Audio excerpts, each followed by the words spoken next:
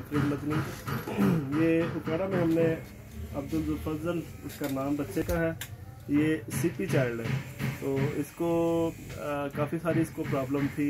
एक तो ये बोल नहीं सकता था और इसके अलावा इसका खाना पीना बड़ा कम था और इसमें एंगर बहुत इसका वायलेंट था। बहुत शदीद किस्म का इसमें तोड़ फोड़ ये किए रखता था।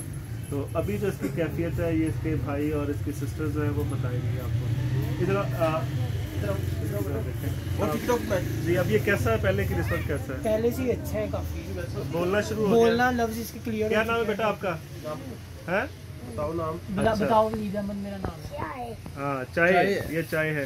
खाने पीने ठीक की है। तो ये मतलब कि इसका जो हमने चार माह पहले इसका इलाज स्टार्ट किया था इस इलाज से इसकी जो कैफियत है अल्हम्दुलिल्लाह ये 35 परसेंट जो है ये बच्चा पहले से ज़्यादा बेहतर हो गया है।